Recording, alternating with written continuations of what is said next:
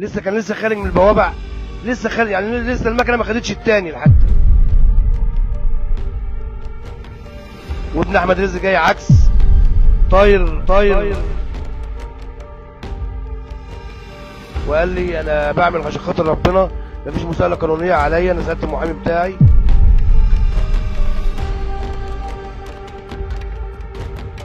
شرخ في الجمجمة كسر في الوجه كله.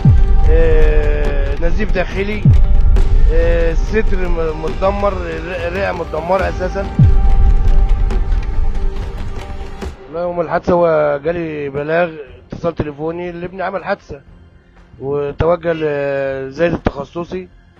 رحت لقيت ال- الحالة متدمرة في زايد التخصصي ومطلوب رعاية والكلام ده كله. ولقيت واحد جالي من بيقول لي أنا تبع الأستاذ الفنان أحمد رزق. وأنا متكفل بالمصاريف ومتكفل بكل حاجة واللي انت عايزه ومش عارف إيه والكلام ده كله. ودينا رعاية في مستشفى الواحد التخصصي. قعد فيها 25 يوم كان بيدفع له مبلغ مبالغ كبيرة كل يوم يومين وبعد كده وداه القصر العيني و... والعملية أثرت شوية يعني. بدأ يأثر شوية. وآخر مكالمة مكلماني هو شخصيا. وقال لي أنا بعمل عشان خاطر ربنا. مفيش مساءلة قانونية عليا. أنا سألت المحامي بتاعي.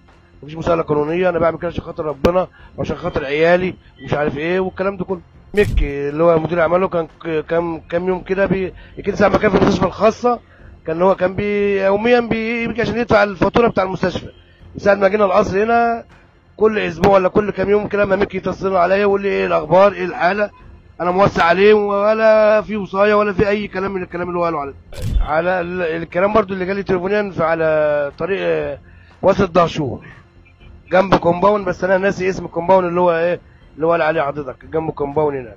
كان بيودي دليفري في compound هناك وخارج من البوابة وابن أحمد رزق جاي عكس طاير يعني على إيه؟ الوصف اللي اتوصف لي طاير طاير كلمة طاير دي شوية راح شايله في وشه.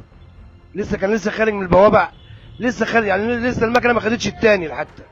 متدمر خالص آه، شرخ في الجمجمة آه، آه، كسر في الوجه كله. نزيف داخلي آه، الصدر م- متدمر الر- الرئه متدمرة أساسا. أنا حضرتك أنا مش هكلمك حضرتك اسألي الجيران.